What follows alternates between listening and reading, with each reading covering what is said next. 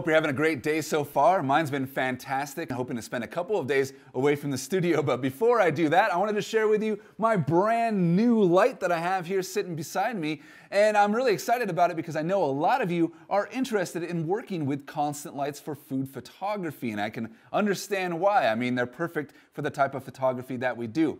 Now, Falcon Eyes, the company that uh, makes this light, they reached out to me and they said, Hey, Skyler, we have a light. We think it's going to be great for food photography. Come check it out. It's the SO48TD Flapjack light. I mean, look how thin that is. It's pretty cool. Now, this is not a paid review or anything, but because I know so many of you are interested in constant lighting, that I thought, hey, why not bring it to the studio, set it up, test it out, see how it works in a real shoot. If you're interested in this light, then check out the link in the description below. Now, I know a lot of you have seen me work with this light. It's the cheap $20 special from Home Depot. However, would I recommend this as a light for food photography? Well, if your budget is really, really low, then yeah, why not? If you can muster up a couple hundred more dollars for a light, then absolutely not. I would recommend going for the better light because well, this is what I look for in a constant light. One, power controls. I want to be able to turn that light down and crank it up. Two, variable color temperatures, but more on this later. Three, I really want to be able to modify that light. Four, because I record videos, I want it to be quiet and I need it to be cool. And five, I really, really want that light to be bright. Now I haven't found a constant light yet that matches all of these five things. Well, at least that's in my budget, but you can find one that matches most of them. I get a lot out of my equipment, but you know, I'm not expecting this light to match every single one of my needs as a photographer. However, like most lights in this price range, the Falcon Eyes does have this nice diffuse panel in front of the light, and that really softens the light. It's nice. But I can't really add any other modifiers to this light, like a grid, a snoot, a softbox, barn doors, or anything like that. And that's a big downside for me. Although there are name brand constant lights out there that allow you to modify them like you can with studio strobes, but then you're in the price range of anywhere between 600 and thousands of dollars and you're still not getting all of the features that I would look for in a constant light. So if you were to buy a light like the Falcon Eyes here, you would have money left over to buy diffusers and flags and stands and all that great stuff that you can use to modify the light. Real quick before I get to this light and the shoot, I wanna talk to you about two of the key features that I look for in a constant light. One is variable power controls, and the other is variable color temperature. And the Falcon here has both, and they work pretty great. I mean, right now it's lighting my face, it's only at about 60%, but it's definitely acting as my key light. But if I tap on the back of the touchscreen here, I can change the power down to say 20%. Then the Falcon acts as a fill light, which is super helpful. I mean, if you're on a shoot, you have two of these lights, you wanna make one brighter than the other, you can easily do that at the touch of a button, which I'm sure is not amazing to most of you out there. But if you're coming from the land of that $20 Home Depot special construction light, which absolutely has no power controls, then I'm sure you can appreciate that.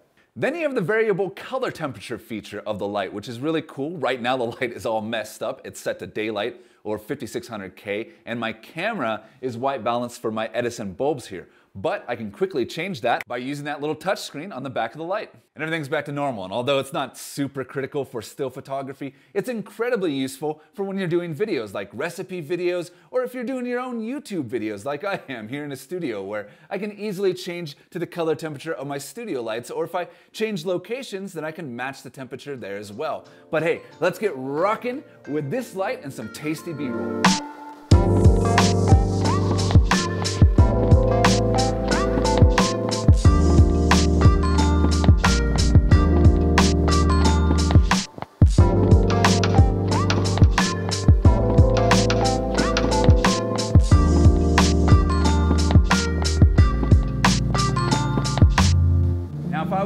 My studio strobes or a flash to light my food, it would overpower all of these other lights that I'm using right now to light this video. But because I'm using a constant light, like the Falcon Eyes here, or any constant light for that matter, all of these lights, these lights, these lights, they're gonna show up in my photograph. So, I'm actually gonna move this light over here to the other side. I think it'll work better that way.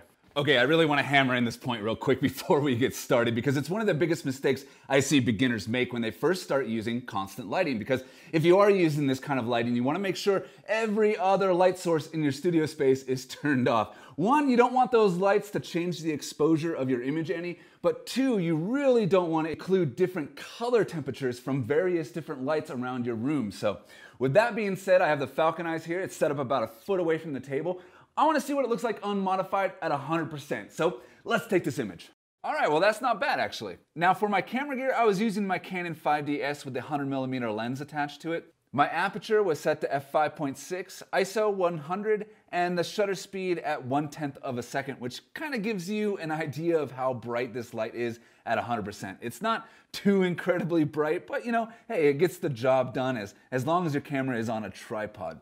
Now the highlights look good, but the image, you know, it, it's really contrasty with, you know, very defined sharp shadows. Although, you know, I didn't really expect much else without it being modified. A real quick light lesson here for those of you just starting out, look at the shadows on my hand. The closer the light is to the subject, the softer those shadows will be. But the farther we get away, the harder and more defined they get. Personally, I'm a modify everything type of guy, so I'm gonna place this large diffuser between my Falcon flapjack lights and the real flapjacks sitting there on my table. And I think it's gonna look pretty good too because this light's gonna hit the diffuser. The diffuser will become its own new light source, really large and really close to my subject. The only problem is it's gonna knock down the exposure by a couple of stops, but it's really no big deal because my camera is locked down on a tripod. That diffused light is looking pretty good. I mean, I kept the same aperture and ISO, but the diffuser, because it knocks down the exposure a little, I had to use a shutter speed of one second, so a little bit slower, even though the Falcon was still set at 100% brightness. This would be a problem for those hand holders out there, so you gotta use a tripod. Now, side by side, you can see the difference. The diffuser really softens up that shadow side, so you can even see detail down there in those little blueberries. And it also softened up those pin-sized specular highlights on the berries that are sitting on top of that stack. With it not being that expensive and with a little extra diffusement, I'd have to say the flapjack light worked pretty well photographing these flapjacks. I'm impressed. It's a sick little light for food photography.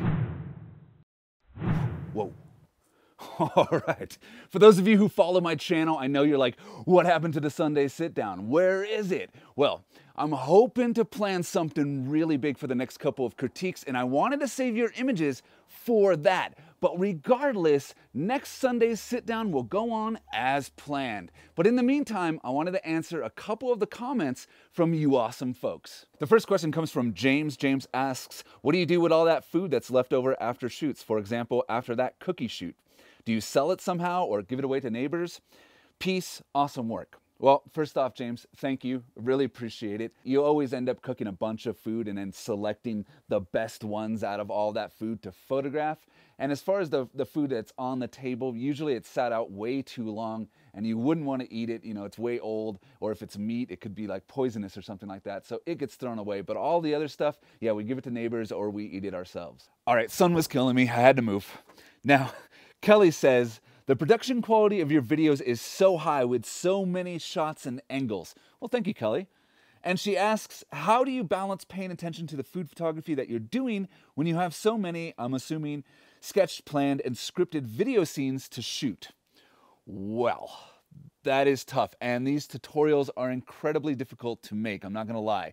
And if I'm gonna be real with you, Kelly, uh, I'm gonna say that the photography that I'm doing in these tutorials, I don't believe is of the same quality as the stuff that's in my portfolio. And it's not, I'm not trying to say that the stuff that I'm doing here is terrible or you're right, I don't have 100% of my attention on the photograph like I do when I'm just making pictures for my portfolio.